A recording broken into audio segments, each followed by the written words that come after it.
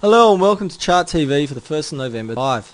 My name is Malcolm Gordon and today we're going to look at more speci specifically the light crude futures oil contract. Okay, we're going to take a, a strategic view of the market uh, with a monthly chart here.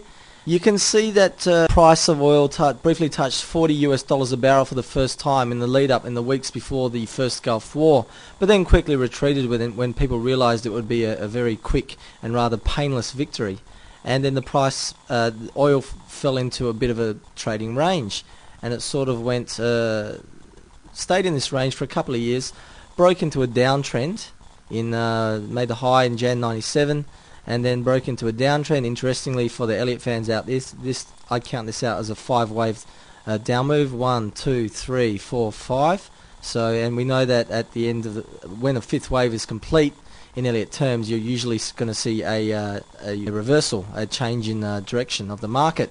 And the market did exactly that. Uh, touched the bottom Bollinger Band and took off. Broke the previous high and made a higher high. Interestingly, the high here was what is, high of $37. Pulled back, consolidated around the $20 level, then took off again. And once again touched that uh, pre-Gulf War pre-Gulf War one high of forty dollars, and it touched that just before the second Gulf War. So it revisited the first Gulf War high just before the second Gulf War, and then uh, once again when uh, when it, was clear that it was going to be a rather quick and painless victory uh, in Iraq, uh, the uh, price fell back. Uh, consolidated around the uh, uh, 28 $30 level then broke the previous high of $40 and it has taken off and stuck to the top stuck very closely to the top Bollinger Band. It, it's it's taken off like a rocket, baby. It's got it's it's gone parabolic.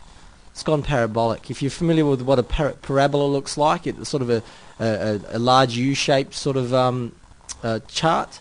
Uh, that's what it, it, looks like. That's the the um, trend line we're dealing with here.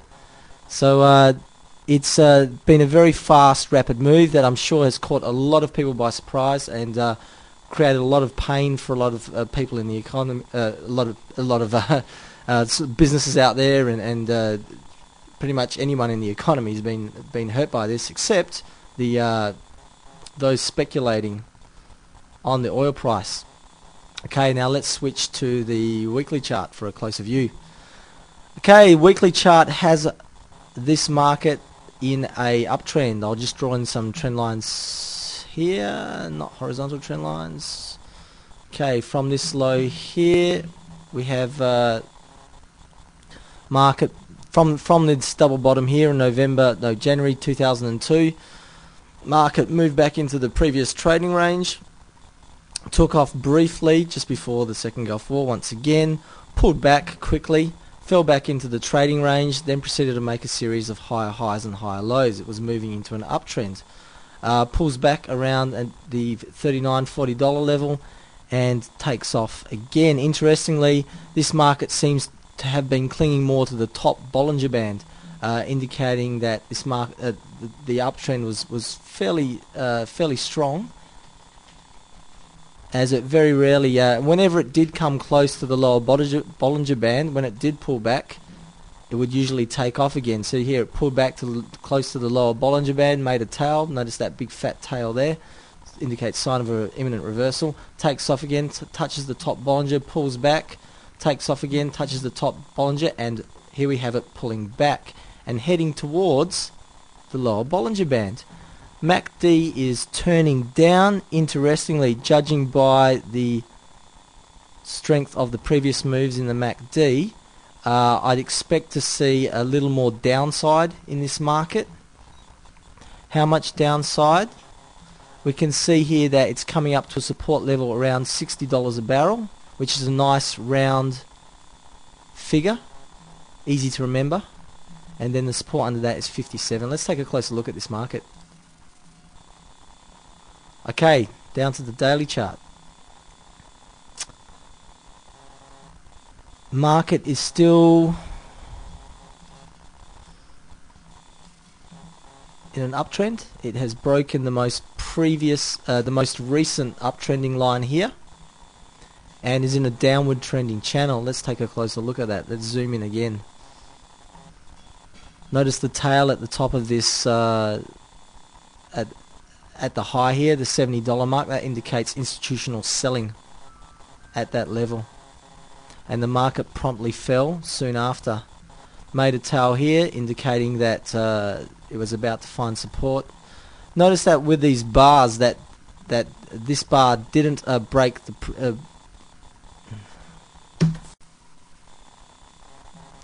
okay, drilling down to the week daily chart once again. We can see that this is in a sort of downwards channel at the moment, and it's in a in the short term. Oil is in a downtrend. Uh, it's sort of uh, you can see that market is sticking close to the lower Bollinger Band, even slightly piercing it here in this case.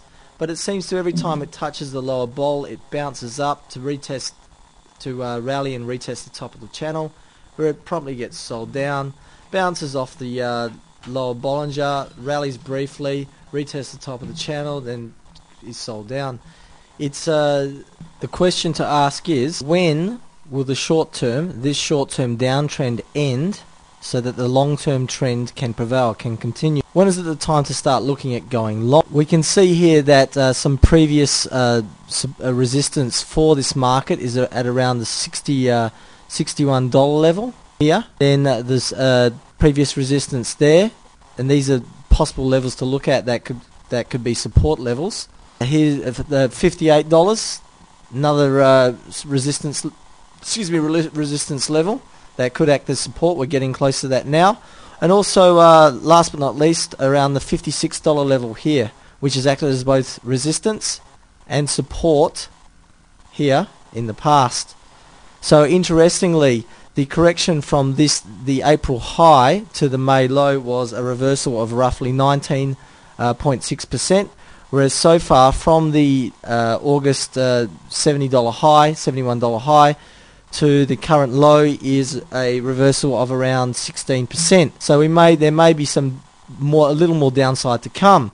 Uh, these two bars are quite interesting because they pretty much have equal lows. The low here is 59.27, low here is 59.3. So this market may be bottoming now, may be finding support now. Uh, what I'd look for is for the market to bottom, make a possible possible double bottom. Uh, then uh, one of two things to happen. If this uptrend is long-term uptrend is over, the market will move into a trading range and uh, really won't uh, and and could remain in that trading range for a while. However, if this uptrend is to continue, we need to see the market firstly bottom, which it may be doing now, trade up, trade to uh, to um, break this previous high of sixty-eight dollars, back and make a higher low. In that high low, I'd expect it to have another crack at this high here.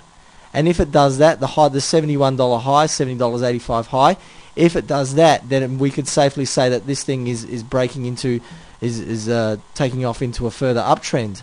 Uh, is it possible? Will we see an assault on these, these highs this year? It's hard to tell. We're going into the uh, cooler uh, northern hemisphere winter. Uh, obviously, demand for heating oil increases. It, it places extra demand pressures on the price. the industrialization, industrialization of China uh, is set to continue well into the next year. For each, uh, at the moment, per capita consumption in China is one barrel uh, per per consumer, whereas in the US it's 19 barrels per consumer per head. So uh, it's I honestly don't think that that's, that's gonna that situation is going to remain like that forever. I uh, see uh, in the long term uh, consumption in China, especially uh, such a, a fast moving growing economy, it's going to naturally increase. So um, yeah, basically there you have it. That's my view for the market. Uh, look to look for it to make a low at around the key levels are now uh, is this level here, which is uh, $59 roughly. Uh, around the $59 level, failing that $58 and failing that 56 levels. So three key levels to watch. So uh, it'd be interesting to see how this plays out over the next few days. That's Chart TV for today. I hope you enjoyed it and we'll see you next time. Thanks for watching.